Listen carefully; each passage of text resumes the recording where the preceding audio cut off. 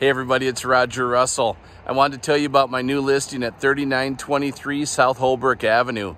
It's a three bedroom, two bath, uh, two car garage, over 1,200 square feet on the main floor. Lots of good living space, so come check it out.